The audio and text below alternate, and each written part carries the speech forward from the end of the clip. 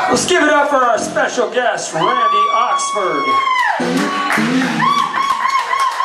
Cause he's a bad mother. Shut your mouth. I'm just talking about Randy.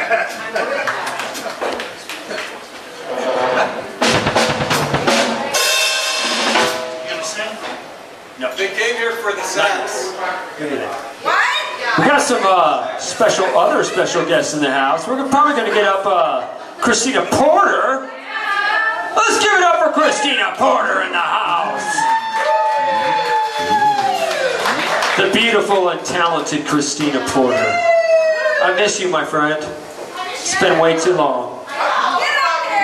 Oh, and then we have the very beautiful and talented Greg Rowe. So beautiful.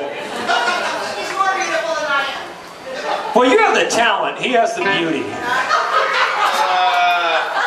Or is that the other way around? I, I don't know.